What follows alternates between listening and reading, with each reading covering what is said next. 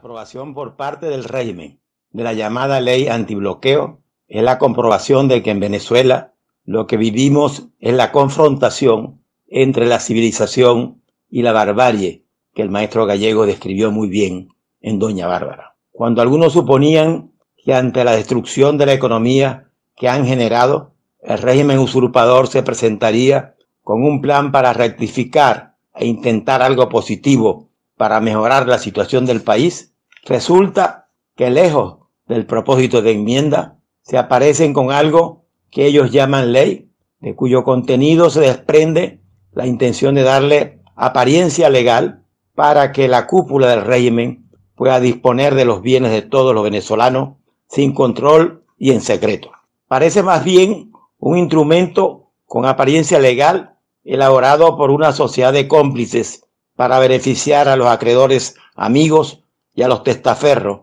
y no para servirle a los intereses del pueblo de Venezuela. Veamos la ley. Comienza con el nombre engañoso para embaucar a los desconocedores del derecho de ley constitucional, cuando no puede haber ninguna ley que no sea constitucional. Si es ley orgánica, ordinaria o especial, debe ser aprobada por la Asamblea Nacional de acuerdo al 202 de la Constitución, o no es constitucional. Como no lo es la supuesta ley antibloqueo, aprobada por una supuesta constituyente que no se convocó conforme a la Constitución ni tiene la legitimidad que le debe dar el voto del pueblo. En su artículo 19 se autoriza al régimen a desaplicar normas de rango legal o sublegal, cuando esa competencia solo le está otorgada a los jueces en el artículo 334 de la Constitución, violando claramente el principio de la legalidad establecido en el artículo 131 de la Constitución.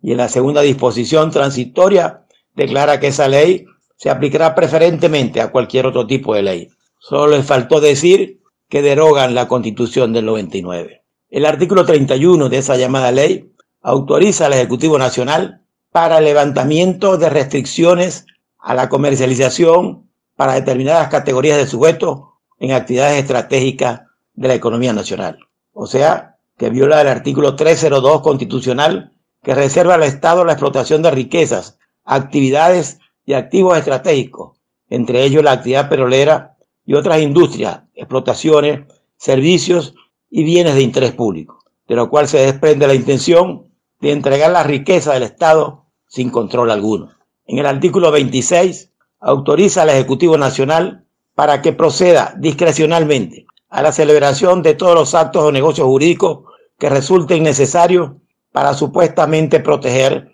los activos e intereses de la República, con el propósito claro de evadir, de evadir el 150 constitucional que obliga a la aprobación por parte de la Asamblea de los contratos de interés público nacional.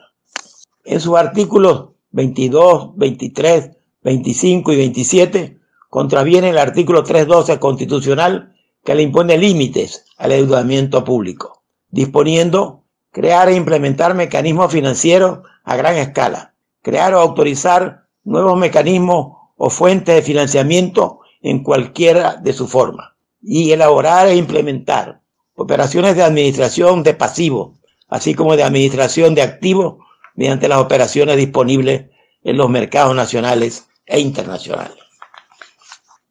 En su artículo 18 dispone que los ingresos derivados de todas las operaciones o medidas dictadas en virtud de esa supuesta ley, o sea, contratos o negocios jurídicos, incluso sobre actividades o activos estratégicos, se registrarán separadamente dentro de las disponibilidades del Tesoro Nacional, o sea, que lo gastarán fuera del presupuesto, violando el 314 constitucional que ordena no se hará ningún tipo de gasto que no haya sido previsto en la ley de presupuesto. Los artículos 25 y 26 permiten al Ejecutivo Nacional proceder a la organización y reorganización de los entes descentralizados con fines empresariales dentro y fuera del país, así como modificar los mecanismos y formas legales para la constitución, gestión, administración, funcionamiento y participación del Estado en determinadas empresas públicas o mixtas, tanto en el territorio nacional como en el exterior.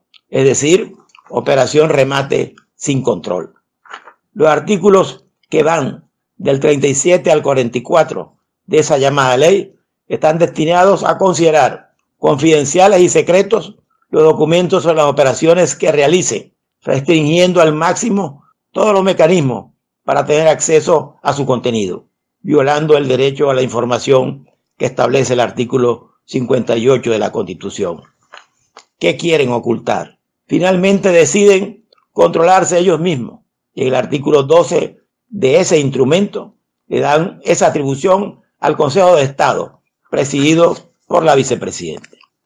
Antes de finalizar, debo destacar mi complacencia por el hecho de que esta llamada ley antibloqueo tenga el único mérito de haber unificado a todos los que queremos un cambio político en nuestro país para rechazarla de manera contundente. Y estando convencidos todos los que asumimos esa posición de que la única manera de evitar la continuación del remate de los bienes nacionales por la corrupción es el cese de la usurpación, que eso nos sirva de motivación trascendente para unirnos por encima de cualquier interés personal o parcial por Venezuela,